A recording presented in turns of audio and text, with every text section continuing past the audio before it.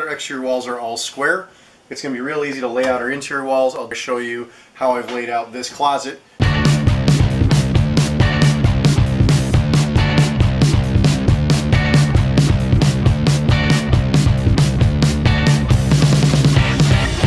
Right on, on the mark in terms of height up to our joists. Now what we're going to do is line up our wall, the mark we made on the floor,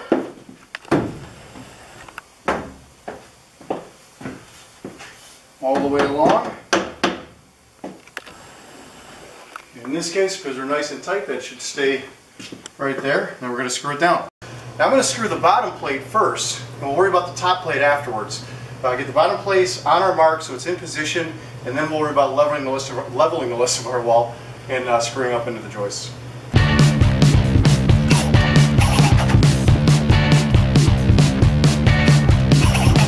So since this one is a doorway, and as I mentioned, we're going to be cutting out the bottom plate, I'm going to put more than one screw in each end, even though this is a fairly narrow space, because once we cut out that bottom plate, these two screws are what are holding together this piece of the wall to this floor and keeping it in place. So in this case, I'm going to put two screws on this end and two screws on that end.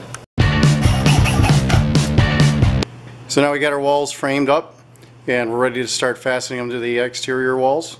Um, what I'm going to do here, and especially a trick I like to use when I'm working by myself, uh, we've got to make sure that this wall here is level in both directions, this way and this way.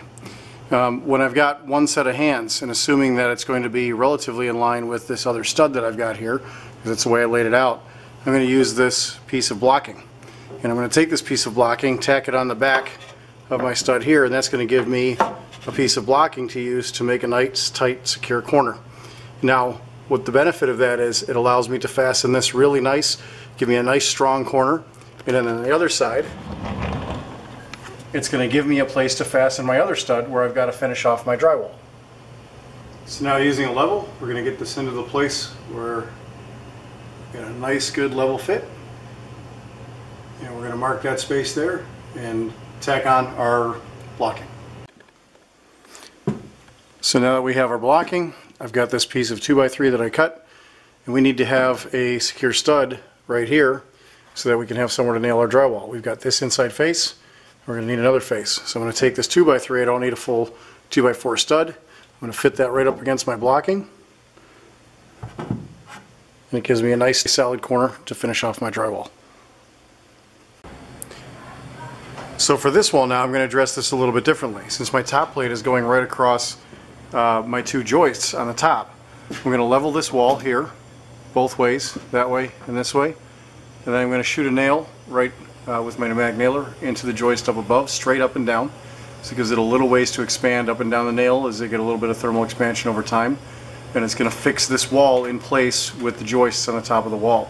Then I'm additionally going to put my blocking in the back here behind this stud so that when I add my blocking behind here, so I'm going to have my block here to be able to nail my other stud here for my outside drywall.